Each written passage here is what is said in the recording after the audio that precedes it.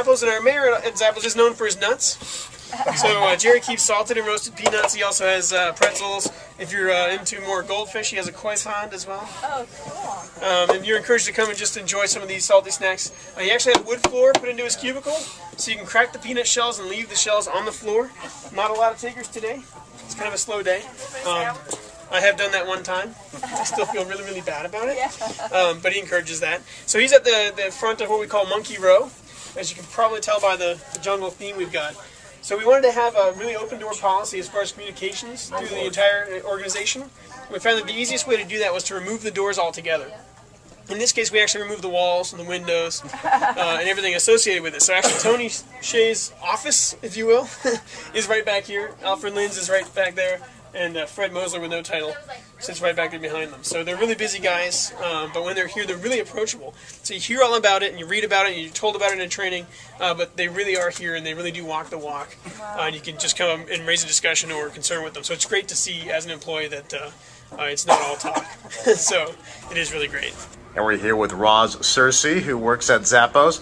Roz, tell me a little bit about what you do. What is, what is your title and what do you do here at Zappos? I am a help desk coordinator and I do anything that you can think of.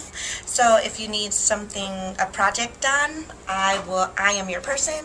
If you, um, when you walk into the building, I am here to greet you. If you need a shuttle ride somewhere, I am happy to take you wherever you need to go.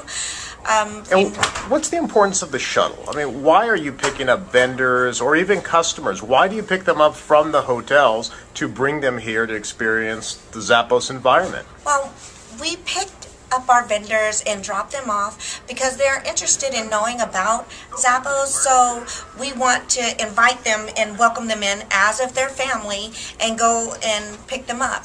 It's um, a courtesy, and like I said, again, it's so.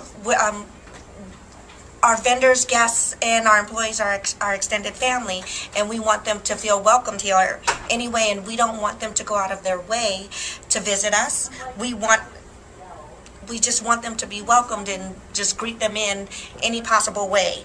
And if going to pick them up is that way, then you know we're going to go pick them up. And Roz, you are obviously a really passionate spokesperson for Zappos and for the brand. Why do you enjoy working here so much? Oh my gosh.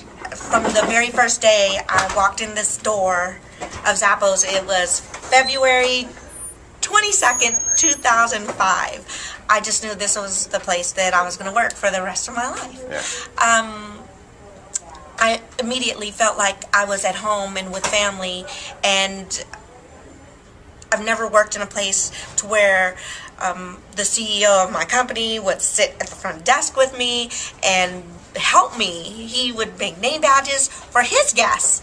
Um, it was just the greatest thing. So, I mean, how could anyone pass that up? I'm here for a lifetime.